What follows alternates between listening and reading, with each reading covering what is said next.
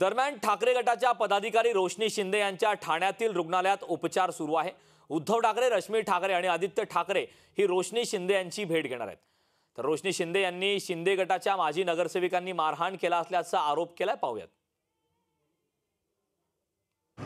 अजून मला त्यांची नावं तर एवढे नाही आहे मी त्यांचं फुटेज पण दिलेलं आहे सगळे.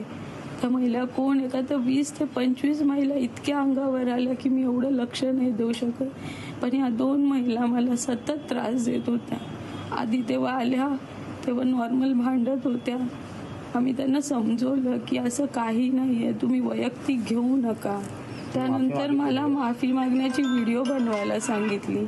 मी बोली तुमच्या भावना दुखवल्या गेल्या असतील जर माझ्या या स्टेटमेंटनी तर मी तेही सॉरी बोलायला तयार आहे पण मला वाटत नाही मी कोणाचं नाव घेतलं मी त्यांना ती व्हिडिओही करून दिली.